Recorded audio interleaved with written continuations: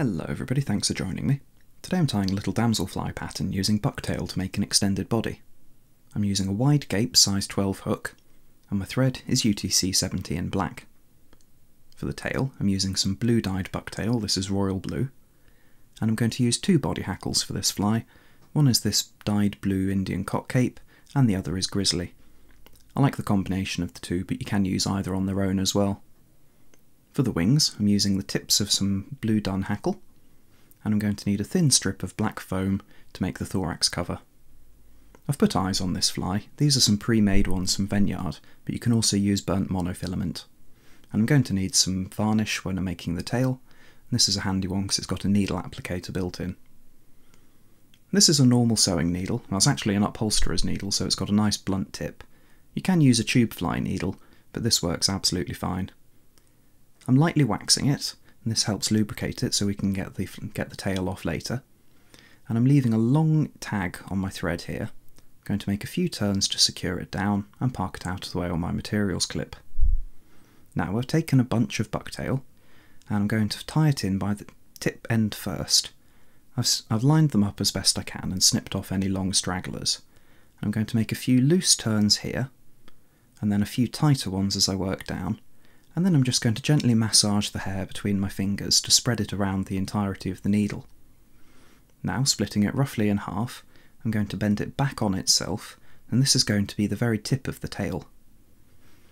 I'm not pulling too hard here because I don't want to disturb it from where I've tied it down, but now making a few nice tight wraps with the thread. I'm going to add a little dab of varnish, and that's just going to hold everything together. It helps to spin your thread flat whilst you're doing this, because that gives you a nice wide black band like on the naturals.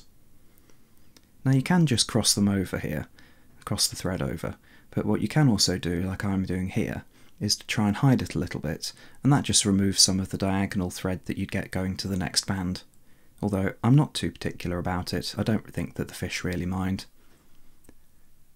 Either way, we're going to continue and repeat the process all the way up, putting a little dab of varnish on each time, and this is just going to help stiffen up the tail a little bit in the long run as well.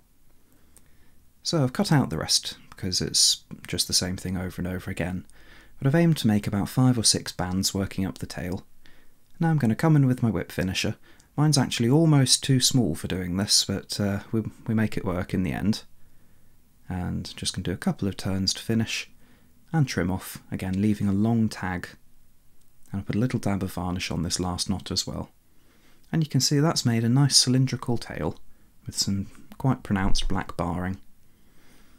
Now with a little bit of wiggling and a little bit of pressure we can slide that off the needle. I've switched out the needle for my hook now. I'm going to tie in my thread just behind the hook eye, make a few tight turns to secure, and trim off the excess. I'm going to add the eyes in first, and I like to tie this type of eye in longitudinally down the hook shank and then tighten down because that seems to switch it automatically to sitting in the right position. I'm going to make some figure eight wraps around the around the eyes here, and the first few they will have, want to slip a little bit. But I'm making some wraps in front and behind, and then crossways over, just to secure everything down nice and tightly. I'm happy with that, so I'm going to run my thread back down to the base of the tail. I'm using a short shanked wide gape hook here. I think that's about the best proportions for it and to secure the eyes down a little bit further, I'm just adding a little dab of varnish in the middle. Here's the tail we made earlier. Well, this is a different one actually, I've tied a small batch of these today. And I'm going to make a few really nice tight wraps down at the back of the fly to secure it down. And you want to make sure that you're catching in those two long bits of thread that we left over. That's what holds the whole tail together. Now I'm going to keep working towards the head of the fly, and I'm just using this to build up a little bit of bulk. And I'm going to trim it off so it sits neatly behind the eyes. Taking my thread back, and we're just going to secure everything down. And this makes a really solid body, a really nice firm underbody that we can wrap our hackles over later. The next material is going to be my thorax cover, which is a thin strip of foam, and I've trimmed it down at the edges a little bit. This is 2mm foam, but even that's a little bit thick for my liking for this pattern. Hook came loose in the vise there, so I'm just repositioning a little. I just need to go a little bit further and I'm going to use this foam later on to make the thorax cover and the head of the fly. You'll notice that I've tied the eyes on slightly back from the hook shank and that means that I can properly secure down the foam at the head later. I'm running my thread back down towards the base now, and we're going to tie in our hackles. I've prepared two, a grizzly and a blue. Like I said, you can use either on their own, but I think that the combination of both makes for a very nice effect.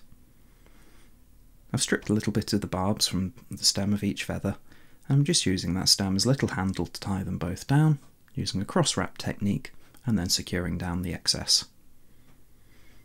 Now we can wrap our hackles, and these feathers are long enough that I can do both together, and it just helps to make a nice spiral wrap working upwards. You can see how the grizzly and the blue are blending together, and it makes a really nice effect representing the legs of the insect, and helps the fly float as well. The hair has a little bit of buoyancy of its own, and of course the foam will float, and then the, the, outstretched, the outstretched wings will sit nicely in the surface film. So this is a fly that you can fish dry or damp. Now, you don't get the chance to fish damselflies very often, but when they are out and when the trout are feeding on them, there's really no substitute, and if you've not got a pattern in your box like this, you can be really quite stuffed. So that's my hackles done, I've secured them down. And now here's the wings. I've taken the hackle tips from two blue dun feathers, and I've stripped them down so we've just got a little wing-shaped tip left. I'm tying these in diagonally across the head. You can see that I'm aiming to put them diagonally between the eyes. Then one on one side and then one on the other. And this puts them in a nice natural angle towards the tail of the fly. Now those stems on their own, if I cut them there, wouldn't be very secure. So I'm going to run them over the eyes and tie them off nice and tight just behind the eye of the hook. Then I can come in with my scissors and snip away the excess stem. Try and get it really nice and close here so it doesn't intrude on the hook eye. I'm going to take my thread back behind the eyes because I'm going to tie down this foam in two places. I'm spreading the hackle out a little bit and then here I'm putting a loop behind the eyes trying to keep the foam nice and central on top and this is going to represent the thorax of the fly and then pulling the foam quite tightly I'm going to make another few tight thread wraps just behind the hook eye and this forms the top of the head. Now I'm going to come in with my whip finisher and secure everything off behind the hook eye. This is why it's important to leave plenty of space when you're tying the eyes in. Don't put them right behind the hook eye, otherwise you won't be able to do this bit. And with everything secure, I can trim off my thread. And then pulling the foam nice and tight, I can trim it off just over the eyes. And there's the finished fly. Like I said, it's an easy enough pattern to tie once you get the hang of the body, and the same technique works well for extended mayfly bodies using elk hair. I hope you've enjoyed this one. It's a fun pattern to tie, so give it a go. Thanks for watching, and I'll catch you next time.